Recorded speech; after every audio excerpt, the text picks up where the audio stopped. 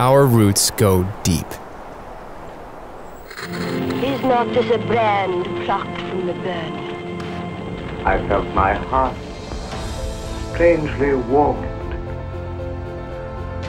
At last I know that he has taken away my sins. I know now that I never could have worked out my own salvation. It is a gift, freely bestowed. A gift of the Most High God. My friends, that great gift is mine tonight. Here we are this morning, gathered together from all over the world and from all sorts and conditions of men to celebrate a birthday, our birthday, as the United Methodist Church. For 50 years, we have always believed in God, creator of the world. The world is in furious and agonizing turmoil, incomprehensible and unmanageable. and in Jesus Christ, the Redeemer of creation. The church is in radical crisis and in the throes of profound demoralization at every level. I may not get there with you, but I want you to know tonight In such times, business as usual simply will not get our business done. We have always believed in the Holy Spirit. There are specific issues coming before the conference uh, race and riots, war and peace, ecumenism. I think it's the responsibility of the church to gear itself up to be a part of God's activity in this world.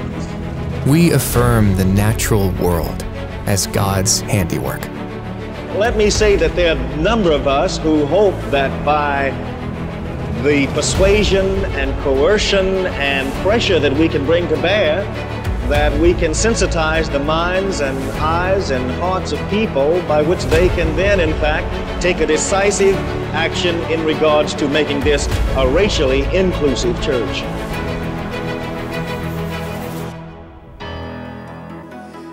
The spirit.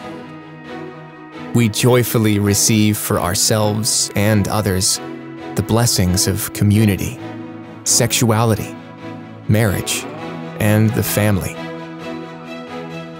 We commit ourselves to the rights of men, women, children, youth, young adults, the aging, and people with disabilities to improvement of the quality of life to the rights and dignity of all persons. We dedicate ourselves to peace throughout the world, to the rule of justice and law among nations, and to individual freedom for all people of the world. In such times, business as usual simply will not get our business done. Open doors means you are just willing to take your time and do all these wonderful things to help other people.